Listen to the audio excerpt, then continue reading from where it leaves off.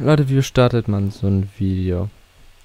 Ich möchte vorab sagen, heute ist 1. April, das ist jetzt kein April-Scherz, wie man denken könnte auf diesen Titel. Aber ja, ich habe mal hier für das Video dieses Ambiente genommen, weil so könnte man denken, wir haben so ein Face-to-Face-Gespräch, so. Ich würde am besten, am einfachsten auch für mich als Reason 3D-Renner, die ich immer nutze zum Cutten, so. Ja, ist irgendwie schon der zweite Versuch, dieses Video aufzunehmen, weil ich nicht genau weiß, was ich so sagen soll. Ich habe ein paar Ideen, so was ich so sage, was ich für Themen reden möchte. Aber wie ich das jetzt alles gescheit möchte, ja. Es stimmt, Leute, das wird jetzt mein letztes Video und ich werde aufhören mit diesem Kanal nach äh, sechs Jahren. Bin ich um fünf Jahre mache ich aktiv Videos. Ja, höre ich jetzt mit diesem Kanal auf. Ich weiß ganz ehrlich nicht, was sagen soll. Ich habe jetzt fünf Jahre lang aktiv Videos gebracht. Das hat mir auch immer so einen Rhythmus gegeben, aber seit längerem habe ich auch, seit Jahren schon, habe ich so richtig keinen Bock mehr auf Videos. So. Ja, ich habe es halt primär gemacht, weil äh, es war, hat mir halt immer so einen Rhythmus gegeben und ich habe mich auch nie richtig getraut, so aussprechen und es zu tun, aufzuhören. Was einen auch runtergezogen hat, man sieht es an meinen Videos, ich habe halt sehr wenig Kommentare, Likes, Klicks, so sehr wenig Interaktion mit der Community. So hat man das Gefühl, dass so, ich habe halt 1500 Abos, davon so ein Viertel guckt gefühlt meine Videos. Ja, ich weiß euch, dass ich äh, Speed also Modpacks gemacht habe, habe ich sehr viele inaktive Zuschauer. Meine Hoffnung war, wenn ich das gemacht habe, dass ich halt auch Zuschauer mich finden können, die mein Content feiern und so durch Karlsruhe, so weil ich ja einen ähnlichen Content mache, den ich auch früher in dem Alter für die Zielgruppe ist auch sehr gefeiert hat man entwickelt sich auch weiter. Man, das heißt ja, wenn man keinen Bock auf das Ganze hat, macht man halt um was, worauf man Bock hat.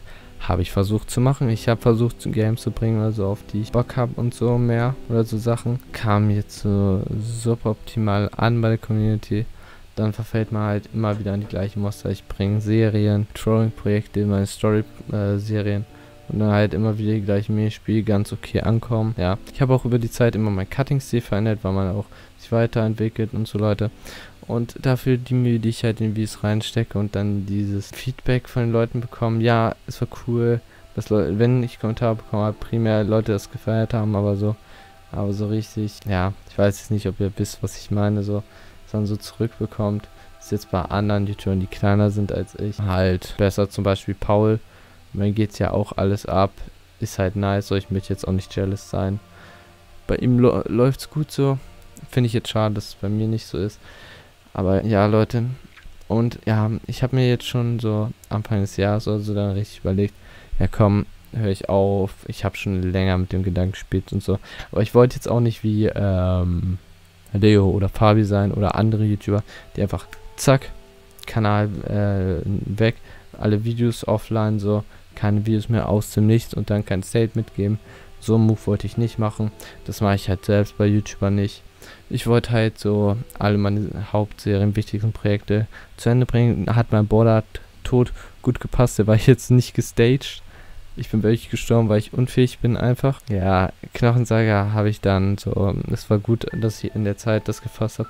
Also konnte ich das dann, äh, die ganze Serie, auch schön zu Ende bringen mit, ich hoffe, einem Ende, das man verstanden hat, dass das so paradoxmäßig sein soll und alles wieder von vorne startet. so. Und ich habe die Projekte so offen teils offen gelassen, dass man halt immer noch anknüpfen könnte in der Zukunft, weil man sagt doch immer say never never und es kann sein, dass ich irgendwann wieder zurückkomme, weil ich wieder Bock habe, diesen Content zu machen in ein, zwei Jahren oder so. Oder ich mache irgendwas Neues. Zum Beispiel äh, im Sommer könnte es sein, dass ich eine spezielle Werkbank besuche. Vielleicht kommt dazu mal irgendwas. Oder ich entscheide mich plötzlich, ja, ich mache jetzt TikToks. Keine Ahnung. Ja, ich habe keinen Plan, was dann zukommt.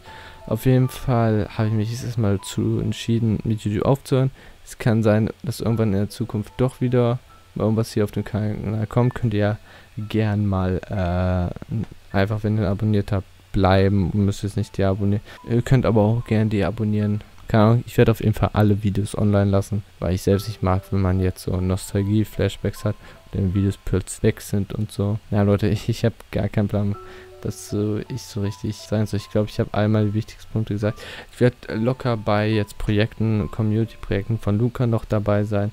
Wenn er streamt, werde ich safe noch irgendwo dabei sein. Oder Paul, wenn er jetzt Bordered 4 macht oder auch wieder so ein Projekt oder ein Science Stream werde auch vertreten sein, Leute. Ich werde noch da sein, aber halt auf meinem Kanal keine Videos mehr produzieren und so mal. Jetzt habe ich auch mein Leben. So.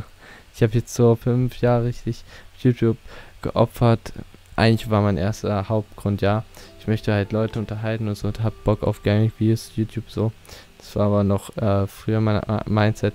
Ja, ich wollte immer Leute unterhalten, so. Aber dann hat man irgendwann Zahlen, haben auch die Zahlen einen beeinflusst und so gedacht, ja komm, ich muss mehr zahlen hier, höhere Zahlen. Niemand, der sagt, ja, mich beeinflusst Zahlen so, das ist eine Lüge. Man guckt immer auf die Zahlen, indirekt wird man immer von dem beeinflusst, auch wenn man es nicht möchte, so. Das wird jeder so. Man versucht es so gut es geht zu, zu ignorieren, aber man wird halt indirekt immer von den Zahlen beeinflusst, was halt auch einen dann ein bisschen runterzieht, so. Ja, und dann halt äh, sieht so wenig Kommentare und so wenig Klicks auf Videos, auf die Arbeit, die man steckt, so. Ja, das zieht einen auch mega runter und alles. Ja, ich merke auch schon wieder, wie ich mich äh, mit allen Themen und so ähm, wiederhole. Ich würde aber sagen, wenn euch dieses Video feiert, dann lasst ein Like da irgendwie abonnieren, zu sagen, wie jetzt alles wird, so bei diesem letzten Video. Ja, könnt einfach mal gerne abonniert bleiben. Schaut auf jeden Fall bei Paul Luca vorbei. Äh, auf deren Kanälen. Da will ich dann locker vertreten sein, wenn ihr davon noch irgendwas von mir sehen wollt, Leute. Ja, und dann würde ich sagen, bis letzte Mal, bis fallen. Dann lasst ein Like, dann können weiter Videos mit sowas abonnieren. Und sonst sag ich nur ciao. Leute.